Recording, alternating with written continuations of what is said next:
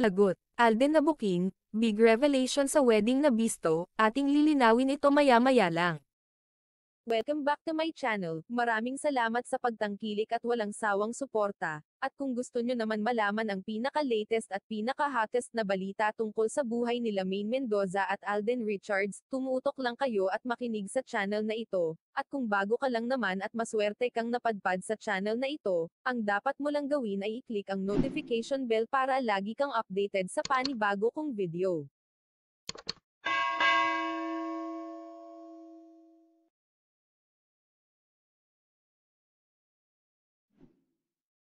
Lagot, Alden na booking, big revelation sa wedding na bisto, ating lilinawin ito maya-maya lang. Huli ka walang lusot sa ginawang post, pero bago natin ituloy at bigyan ng kasagutan ang lahat ng ito.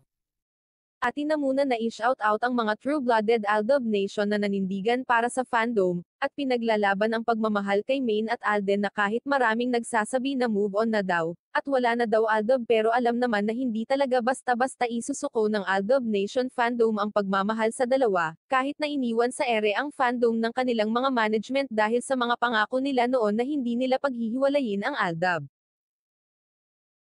Maraming mga nagpapakita ng kanilang kanya-kanyang ebidensya tungkol sa totoong nangyayari kay Maine at Alden, ay hindi naman matatawaran ang pagmamahal ng Aldob Nation sa Aldob na kahit wala pang projects ang dalawa, ay maghihintay man na napakatagal na panahon ay basta worth it naman ang paghihintay kung sakaling mabigyan ulit sila na projects na dalawa, at atin na munang alamin ang patunay nito magandang balita man o hindi para sa Aldob Nation, at makakaasa po kayo na patuloy lang po ang pag-update natin patungkol kay Maine at Alden, at ang mga latest na nangyayari sa online world. Kaya nga marami nang ang inilalabas na larawan ulit ni Maine sa kanyang IG, may nakabisto na Adob Nation sa isang post kung saan makikita na 2005 ito nakunan, kaya nga sinabi ng Aldob Nation na parang familiar ang post na ito.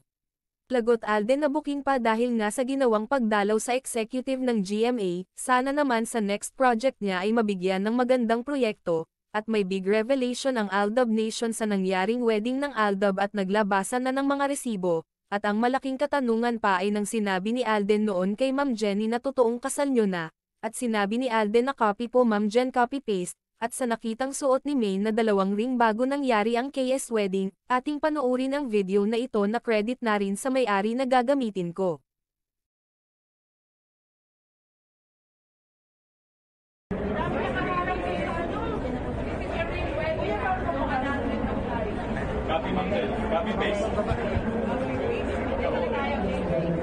Mamaya ay birthday ni May. Mamaya, ano ba oras? Ano, ba? ilang oras na lang? Mga 4, 4, uh, what, 3 hours and a half po.